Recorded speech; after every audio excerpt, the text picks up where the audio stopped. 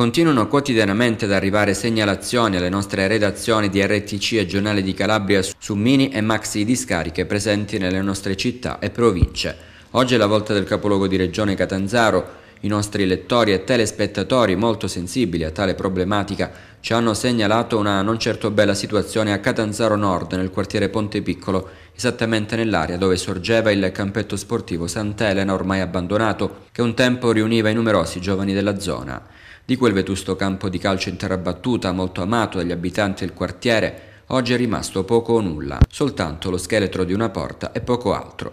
Per il resto i palloni hanno lasciato spazio alle erbacce e a rifiuti di ogni genere, molto corposi. Bottiglie, secchi, cartacce, materassi, legna e immondizia. Ce n'è per tutti i gusti al Sant'Elena di Ponte Piccolo.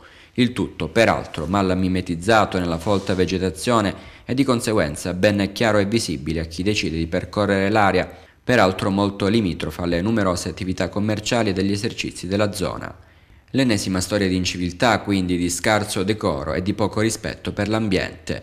Le immagini che state vedendo testimoniano il tutto. Obiettivo di chi ha scritto RTC al giornale di Calabria è tramite questo nostro servizio riuscire a far ripulire quell'area invocando l'attenzione dell'amministrazione comunale e soprattutto maggiore dignità e decoro da parte di una comunità spesso indolente che non si rende conto di inquinare il suo stesso ambiente.